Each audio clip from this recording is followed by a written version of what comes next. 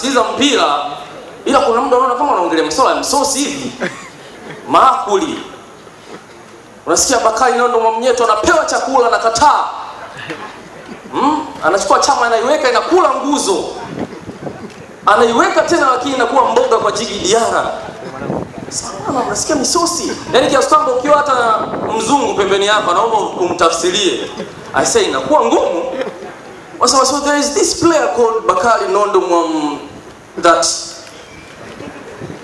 he was given food. He said no. And then the ball went to Kratos Chudachama. He hit the ball, but the ball ate the crossbar. He hit the ball again, but the ball was vegetable to Jigi Diara. Tutatolewa. Unamaliza kutafsiri, wewe umechoka, mzungu kachoka.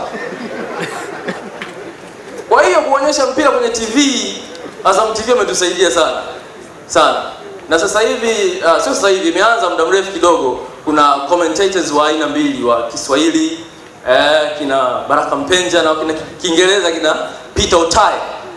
Eh, ushindwe wewe sasa, ushindwe wewe, unachagua lugha gani? Ila mimi ki- kiufupi napenda sana commentators wa Kiingereza. Uh, napenda sana kina Peter Drury wale kwa sababu commentating ya Kiingereza iko very organized. Mm, unasikia Kevin De Bruyne chips hizo passing on to Erling Haaland. Eh? 49 goals this season Erling Haaland. Uh, what a marvelous season this kid is having.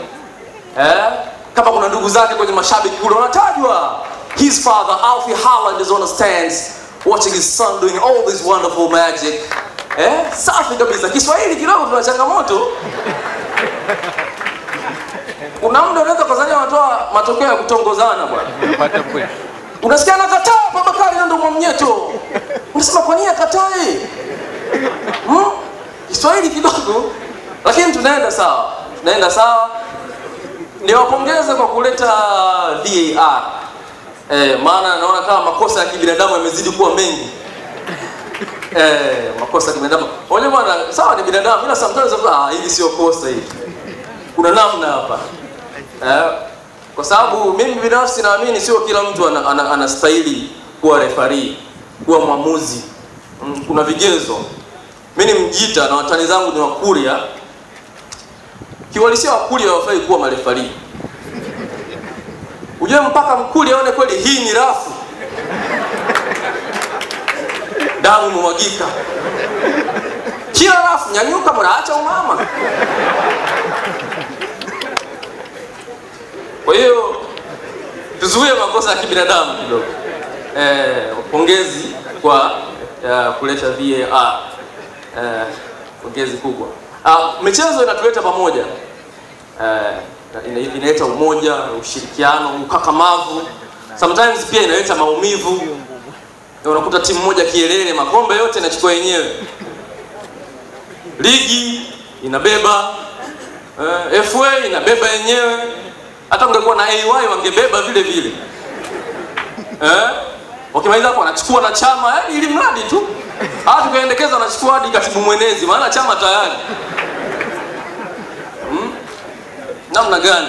Kwa tupambane timu nyingine msimu ujao, na sisi eh, tuonyeshe kitu, sio tunawachia wao au mnasemaje? Eh, niwapongeze pia uh, kiukweli kwa Afrika kwa Afrika nchi yetu inakuwa sana kwenye mpira, inakuwa sana. Tuna timu nne kwenye mashindano ya Afrika, makofi kwetu.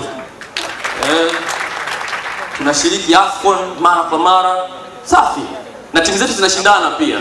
Sasa hivi ushindani umeenda mbali mpaka kwenye majina ya wachezaji. Yanga wana Joyce, Simba ameleta Debora, ikawa vibaya, hasa ataleta Mwanaisha, yani mashindano kila sekta, na tunaibiana wachezaji sasa hivi. Dube kaenda Yanga, ha? Chama kaenda Yanga pia.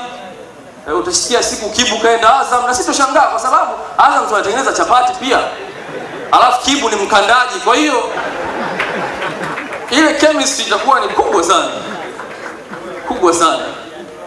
Lakini pia niondoe uh, wasiwasi Azam. Mm, Uh, criticism ni nyingi. Watanzania sisi ni watu wa kulalamika kiukweli.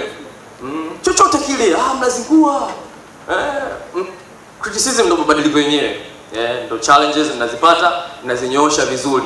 Sasa kuna criticism za aina mbili. kwenye mpira. Kwenye mpira kuna wafuatiliaji mpira na wanaojua mpira. Criticism zao zinakuwa tofauti kabisa, na timu ikifungwa ndio unajua nani anajua mpira, nani anafuatilia. Wanaojua mpira wanatoa sababu za msingi kabisa. Ah, kocha amezingua kuweka um, defending midfielders wawili, angeweka mmoja kwa nyuma, afu attacking midfielder, vitu fulani very technical. Ila wasiojua mpira utasikia tu hivi, Boko anampa nini huyu kocha? Tatizo Bongo tuna sababu kujuana kwingi Bongo hmm? sababu fulani hivi za hazina maana. Kwa hiyo uh, tupambane. Uh, mimi ni mwananchi ndugu zangu uh, eh, ni mwananchi na mwaka jana tumechukua medali zote eh, ligi, FA eh, ndugu zetu medali pekee waliopaka ni medali eh, maana ni medali pia kwa namna moja au nyingine. Kwa nashukuru. He hit the ball again but the ball was vegetable to Jigi Diarra. Usinue sana, usinue sana tutatolewa. Unamaliza kutafsiri, wewe umechoka, mzungu kachoka.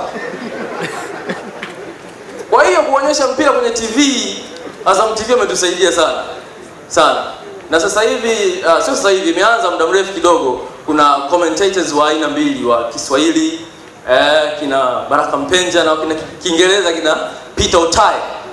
Eh, ushinde wewe sasa, ushinde wewe, unachagua lugha gani? Ila mimi ki- kiufupi napenda sana commentators wa Kiingereza. Uh, napenda sana kina Peter Drury wale, kwa sababu commentating ya Kiingereza iko very organized.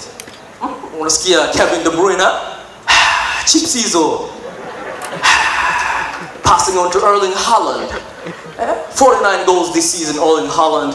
Uh, what a marvelous season this kid is having. Eh, kama kuna ndugu zake kwenye mashabiki kule wanatajwa.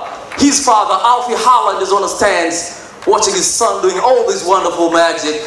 Eh, safi kabisa. Kiswahili kidogo tuna changamoto. Kuna muda unaweza kuzania wanatoa matokeo ya kutongozana bwana. Unasikia anakataa na ndo mwamnyeto. Unasema kwa nini akatae?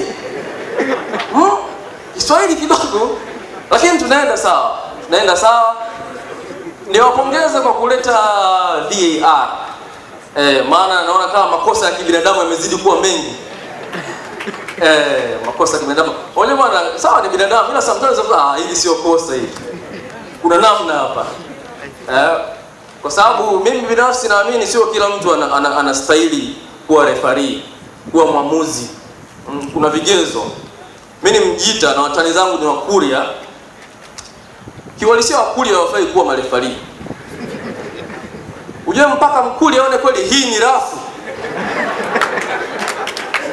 damu imemwagika. Kila rafu nyanyuka, mnaacha umama.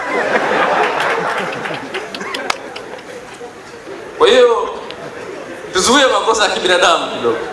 Eh, pongezi kwa uh, kuleta VAR. Eh, pongezi kubwa.